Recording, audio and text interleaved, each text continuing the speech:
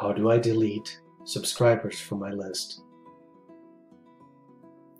Under the List Management menu, click on Subscriber Reports and select the email list that you want to work with from the pull-down menu. A report will be generated with a list of all of your subscribers, including their subscription settings. Use the filter box or the Search for Subscribers box under Customize Report to locate the subscribers of interest. Use the checkboxes next to each subscriber to select the ones that you want to delete from the list.